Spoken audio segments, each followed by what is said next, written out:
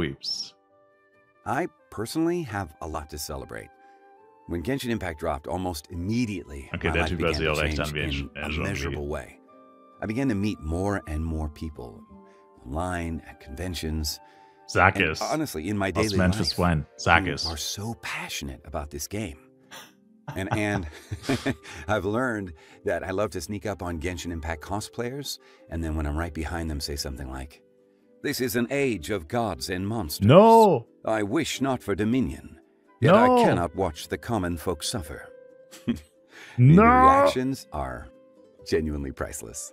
That's not the And I frequently hear from people online that that was one of the highlights of their con. I meet people that are so excited about this game that Sag they literally tear up. I mean, honestly, es. how lucky am I to be a part of something like that? Es. Aus Memphis. Nein!